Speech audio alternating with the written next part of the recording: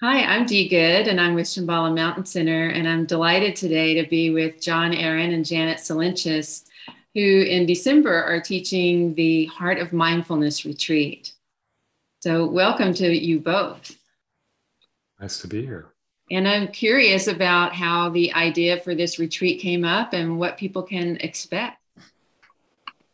All right, thank you. Maybe I'll go first. Uh, it's because I've been teaching and leading these silent retreats at Shambhala Mountain Center for quite a few years now. And we usually have a seven day mindfulness retreat in June and one in December. And uh, I'm so excited to have Jon be co teaching with me this time. It's the first time we'll be teaching together, but we both are longtime MBSR teachers. We both uh, also teach outside of the MBSR context, and we're really looking forward to coming together.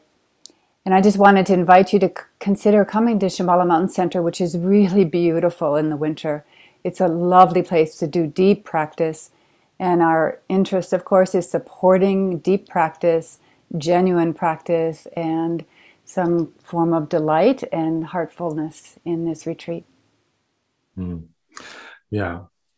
I've never been to Shambhala Mountain Center, so thank you for the invitation. I'm looking forward to being there myself. And uh, um, yeah, these retreats, um, there's something really special about spending five, seven, ten days in in this kind of silence, guided and supported by experienced teachers. Um, as Janet said, I've been teaching MBSR quite some time. And I also teach Dharma at New York Insight, and, and I'm now doing a lot of training of new MBSR teachers. So it's it's I love I love having the opportunity to support this kind of practice and supporting it in a beautiful place. You know, it's it's an ideal scenario, whether you've been on a silent retreat in the past or not. Um, you know, you'll find it to be a very special experience. Not necessarily easy all the time, but certainly very special. And uh, MBSR, uh, do I need to have had MBSR training? Mm. And what is it? No, no, you don't. You don't need to have mindfulness based stress reduction training. I think we use that language. I think it's the way Jon and I have found our way into teaching in a much broader, kind of uh, mainstream or universal way, uh, coming both from Dharma backgrounds. And so MBSR is just indicating that we won't be doing the uh, Buddhist rituals and it's really open to everybody. And especially, I want to say, during this time of COVID, it's so wonderful to be in person. It's so different than doing retreats online. So I just want to emphasize that if you have the time available and interest, yeah, in person retreat.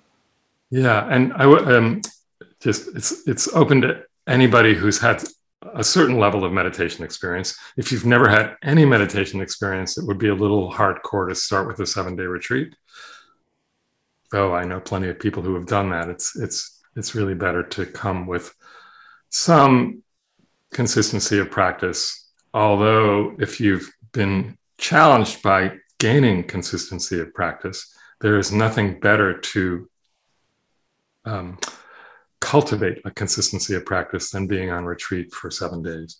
Mm-hmm. After you've been on retreat for seven days, your practice will become quite consistent, mm. for sure. Yeah. Wonderful. It sounds like a, a, great opportunity to come together, practice, and uh, enjoy the land. Yeah. Yeah. I'm looking forward to it. Yeah, so me too. Hope to see you. yeah. Thank you. Look forward to seeing you soon.